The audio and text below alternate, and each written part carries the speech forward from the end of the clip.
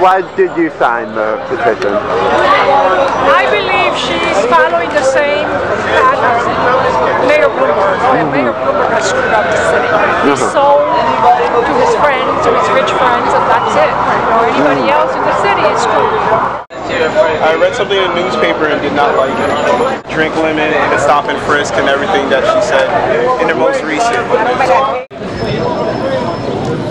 Anybody but I, I don't want her to win. I don't want her to keep having the same power. Nobody can pay rent, afford to pay rent anymore. Uh-huh. We're suffering. New Yorkers are suffering. We voted twice against against the term limits, and he oversaw it. He made sure wrote it, and she co-signed with it, just so she could make sure she ran for mayor. And so far, she has did nothing, absolutely nothing, for the middle class working family at all. I mean, there's nothing she has that that that would fit people like me or any or the average New Yorker. Uh-huh.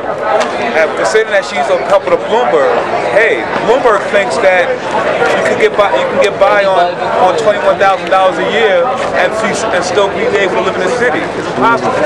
Do you have specific policies or decisions in mind? Um, not not any that I think people are actually going to do. At least not until politicians stop being corrupt.